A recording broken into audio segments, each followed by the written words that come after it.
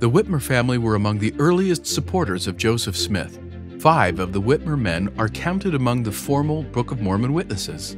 Of this important family, David Whitmer was chosen to serve as one of the three witnesses of the Book of Mormon. He later gathered to Ohio and then became the leader of the church in Missouri. Given all that he did for the church, why was David Whitmer excommunicated? David Whitmer was removed from the church for several reasons. For one, he had voluntarily withdrawn. In addition, in early 1837, a meeting was held with the aim to remove Joseph Smith as church president and replace him with David Whitmer, and later he had presumptuously signed his name as president of the Church of Christ, a status he had not been granted. He also went on to deny the authority of the High Council. Moreover, he offered no explanations for his conduct refuted none of the allegations against him, made no expressions of remorse or acceptance of responsibility, and gave no signs of repentance.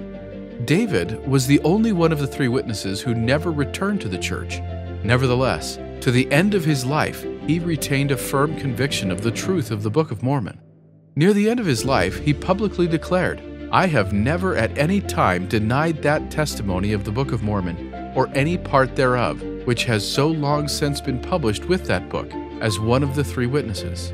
Those who know me best well know that I have always adhered to that testimony, and that no man may be misled or doubt my present views in regard to the same. I do again affirm the truth of all my statements, as then made and published.